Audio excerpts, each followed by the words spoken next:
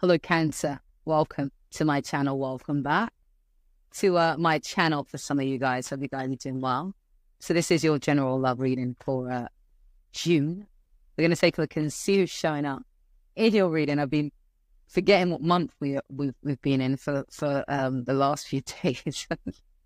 um, yeah, we're going to take a look and see who's showing up in your reading, see what they're thinking and feeling regarding yourself, and of course, vice versa as well.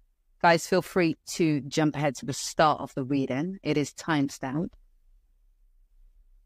Yeah. So if you click in the uh, description bar below, see where it says start reading, click on that, and that will bring you to the uh, start of the reading. This section is really for those that uh, kind of prefer to see me shuffle. Okay. I'm just going to take these in.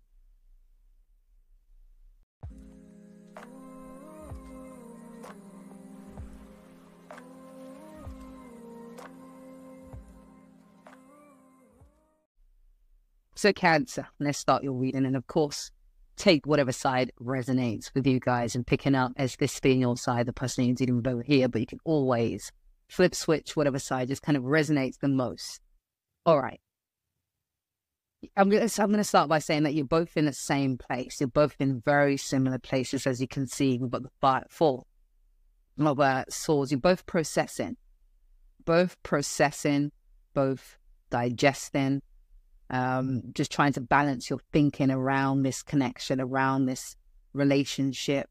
I will say though that this person is a bit more further along the game than you are, only in the sense of them having that hermit card, which represents just deeper insight um, into whatever it is that they're processing.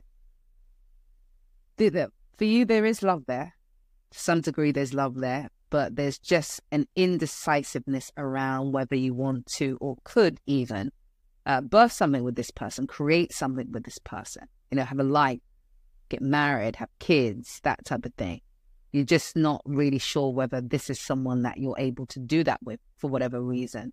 This is someone that you might have known for a while as well, been in this relationship for a while. Maybe you've kind of outgrown each other. Maybe at one point you actually thought you could have that and things have changed because we do have that king, which represents, you know, having built something, you've established something with this person. But again, we're now processing um, it because you might, you know, there is this feeling of wanting to walk away from this.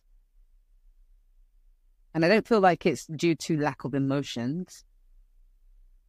I feel like it's more than that.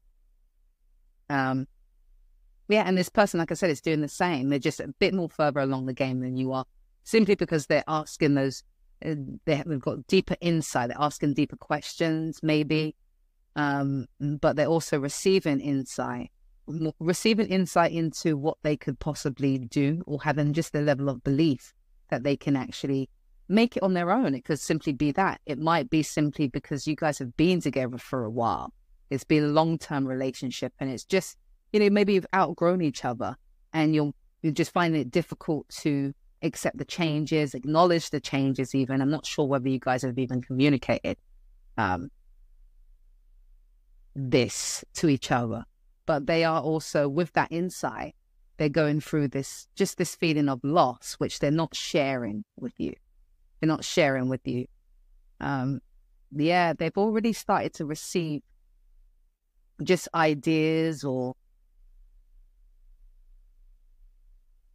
what's that ideas or um, yeah ideas of what it could be like without you what life can be like and not in a bad way just you know when you end something you know you want to have a picture of what it could be like next in my next chapter in my next journey. Seems like they've already started to get that feeling or that idea of what that could be like. Like i said they're a bit more further along the game than you are simply because they're uh, they've got the hermit which talks about deep, you know, asking themselves those deep questions, having deep insight. Um, yeah. You're focusing on this is either work or putting work and or putting work into this relationship, into this connection. Um, again, you're both kind of mirroring each other. You're, you're thinking in a reckless way. This person's confused. There's confusion there for them. Like I said, it makes sense. Um, but they're showing up as being confused, both thinking in a reckless way, because I feel like you're both finding it very difficult to um, end this relationship. To end this relationship, maybe due to the fact that at one point it was really meaningful. Maybe you guys supported each other at you know you met each other at a certain point in your life and you know you supported each other in whatever and now you've kind of outgrown that situation you've moved along the journey you've outgrown the situation you're finding it quite difficult to just part ways or realize that this is no longer beneficial or working for both of us because you're both mirroring each other you're both feeling the same you're both processing things the same or again there's a difference there but it, it you know, it, it, you're both kind of thinking the same. You're both thinking the same, but you're not ready to admit it or to take action on it. You know, you're thinking recklessly. Uh, so, so are they. So, you know, there's a lot of stress as well, panic. That could be coming from panic as well because you don't want to end this because ultimately we got that three of wands before that ten of pentacles. It's like you know you're not going to get that with this person, you know. So why can't I just let go of this? So what you're doing is is you're, you know, giving small gestures or making small gestures of emotion and stuff like that. What you can give, what you feel, yeah, you can give lack of clarity. I feel like that queen is more about deep down knowing that this person also maybe don't want to uh, continue in this relationship, just like you, and that might panic you a bit as well. But um, yeah, this person's clinging on as well. They're clinging on, although they're wanting an opportunity to start something new, but they know it's not going to happen within this relationship.